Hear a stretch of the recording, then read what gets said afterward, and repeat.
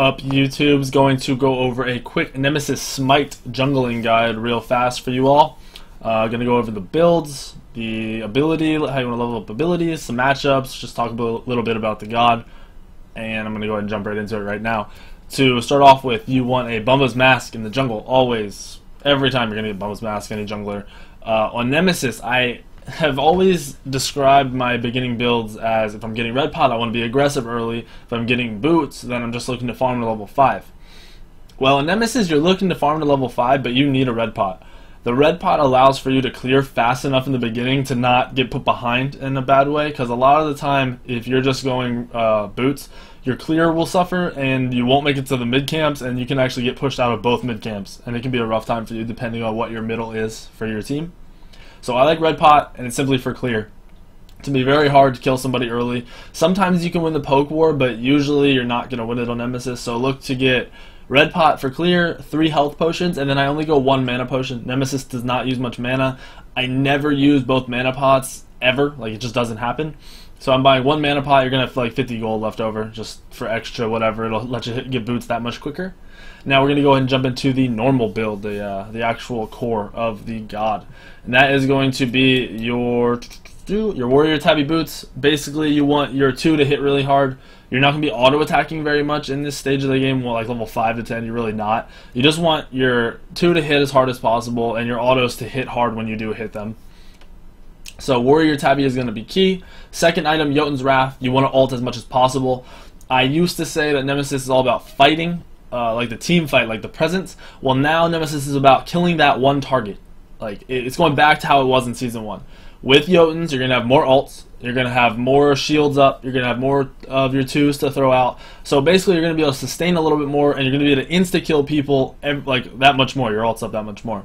So you're using your ult on the targets that you all can focus and blow up right away. So Jotun's Wrath is going to be key for you. Executioner is going to be your next item. Like I said, you are an auto attack god. You're just looking to have ults as much as possible. So you'll ult somebody. It'll be in a short cooldown. Then you have executioners to follow up that damage. It's actually a ton of damage. You're stripping your protections off of the target you ult. Then your auto attacks are stacking up the protection debuff. So you're just doing a lot of damage in general. Now, I play Nemesis as a tank killer. This build will kill mages, it will kill hunters, it will outbox everybody, it will do a ton of damage as long as you're using your shield correctly. But you want Qin's Sais. You don't want rage. You don't want death ray. You don't want crit. You don't want something else. You need Qin's. You want to kill tanks. This this god is meant to shred healers and to shred tanks. If you ult a healer or a tank with this build, you will out damage them. It will happen. It's just fact. It's going to happen. Next item is Mail of Renewal. Um, the Mail of Renewal pickup is against multiple physical damage targets. So if they only have one mage in the mid lane and you don't really have to worry about magic defense, then go Mail of Renewal. So I'm saying if they have a Guardian and then they have a mage in the mid lane, Mail of Renewal is probably your best bet. If they have a second mage somewhere, so you're going to have two mages and a Guardian or something like that, you might want to switch Mail of Renewal over to Spirit's Robe. It's your choice, whatever you want. Mail of Renewal is still OP even after this upcoming patch. You're going to still want Mail of Renewal. That's just how it is. Now, in my top 5 junglers build, we're going to round out this build, I just want to jump back. In a previous video, my top 5 junglers build, I gave you guys a Nemesis build. It is very similar to this, it's pretty much the same thing. Um, I told you why of Renewal is a little bit different. Well, this last item, I'm going Soul Eater. You're getting health, because you are pretty tanky with this build. It's nice. Your shield uh, absorbs damage and it allows you to, to sustain more. So having extra health, having extra attack speed, having lifesteal on top of it, and a little bit more power is going to be very nice. Now you can swap out Soul Eater for Asi. It's up to you. I, I kind of like them both even. It just depends on the game. If I'm being more aggressive and I'm not really being focused much, I like Asi a little bit more because you get some more pen. Um, when you are low health, when you're just sustaining in a fight, you do have that extra lifesteal. It just it's up to you. It's preference. Um, Soul Eater does buff your team. It's just what you're looking for. I say try Soul Eater for a while because it gives you extra health. It allows you that room to make a little bit more mistake. Like you can make a mistake, you have extra health, you can still get out. It's okay. So this is the build you're going to look at. I explained why. You're literally an ult bot. You have max CDR with this build. You have a ton of auto attack damage. You have some sustain. You have health.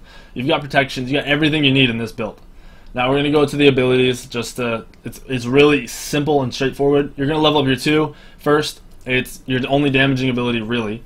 It's going to help you clear early. It is what you're going to max out uh, next to your ult. So you're going to max your 2 and your 4, your 2 and your ult. That's the two things that are most important.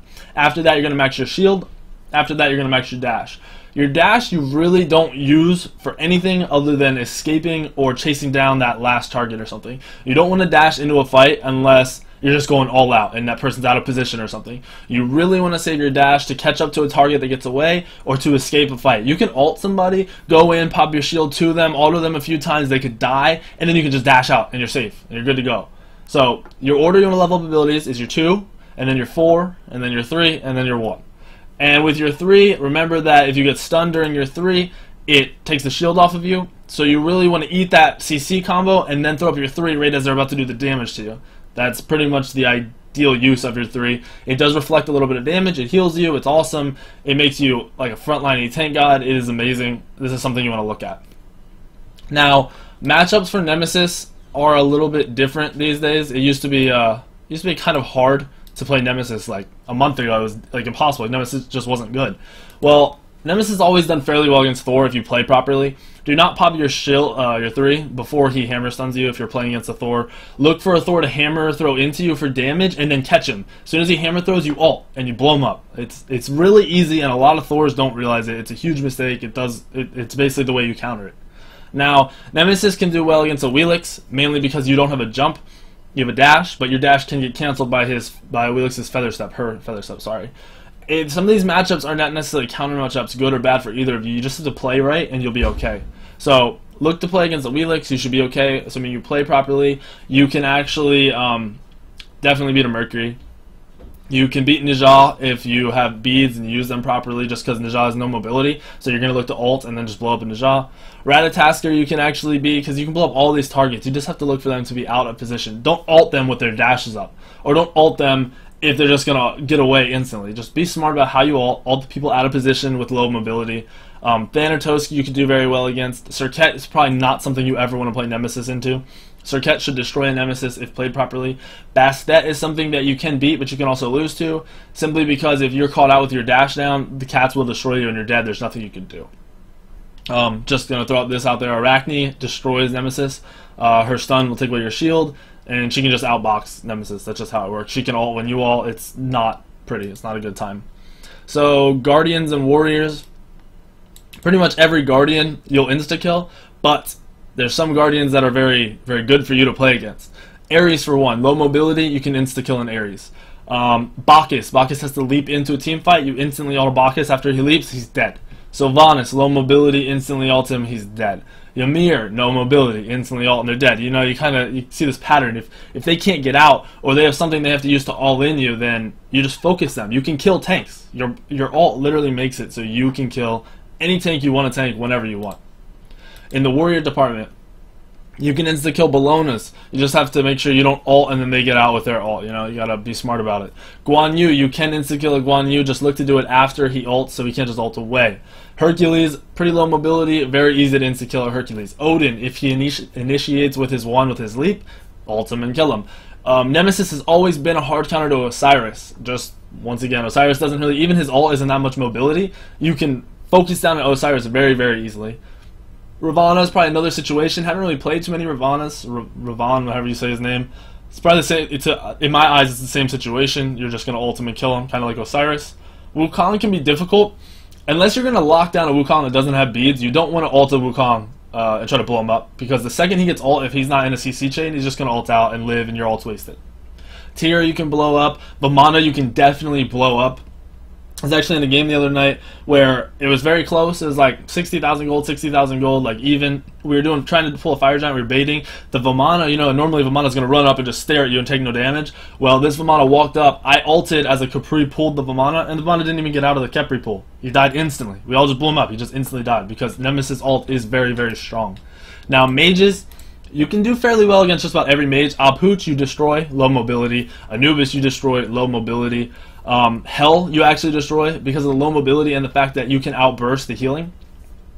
Um, He Bo, you can do well against. It can be hard if they play properly. For Chunga, if they play properly, properly, can be actually kind of difficult to kill.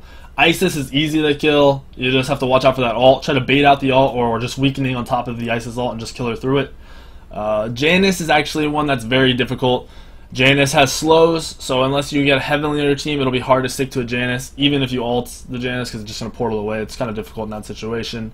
Um, Nuwa can be difficult. Uh, she doesn't have mobility, but she has invis that she can use well. You have to get in her face to attack her, and she can stun you with creeps. So that's one of those matchups that can go one way or the other, depending on how good the Nuwa is. Poseidon, you can actually insta kill, just play smart. Ra, you can insta kill, play smart. Scylla's kind of difficult. Vulcan, you can insta kill. Zeus, the new Zeus, is actually going to be kind of rough because you're going to try to insta kill Zeus and he's going to turn on you with his stupid 2 and 1 bounce. It's just going to hurt. And Nemesis has always been a counter to Zhong Kui. It's just. Nemesis has always been a counter to Zhong, to uh, and Osiris. Just perfect counters forever. It's always been like that. We'll always be like that. So just remember that when you're looking at your mages you're playing against. I'm hoping that, uh, and hunters are kind of the same thing. You should be able to outbox every hunter. The most annoying hunter for you is probably going to be an Apollo because of Mez, and that's about it. It's the only thing you really have to worry about. So, I really do hope this helps. I really do hope this helps. I really do hope that this helps. I know I went through it very quickly. I want to make these as short as possible, mainly because I can ramble about stuff a little too much. So, we went over the build in the beginning. We went over how to rank up your abilities and why. We went up how, went over how to use your abilities and kind of what's good and bad about each ability. We went over a lot of the matchups that you're good in and you're bad in. I just hope this stuff helps. Try to put it to use. I'm sure you will see good things. Uh, Nemesis is actually getting a buff in the next patch. You're going to have a shorter cooldown on the 3, the shield, which is just going to help that much more. I already think Nemesis is top 5. That, that buff is just going to like solidify the fact that Nemesis is actually top 5. And yeah, go ahead and leave a comment. Let me know what you guys think. Like the video, please. It does help. I realize it's just you clicking on one thing, but it does make a big difference. And as always, I appreciate your all support. So thanks again. oh, this you crazy mother.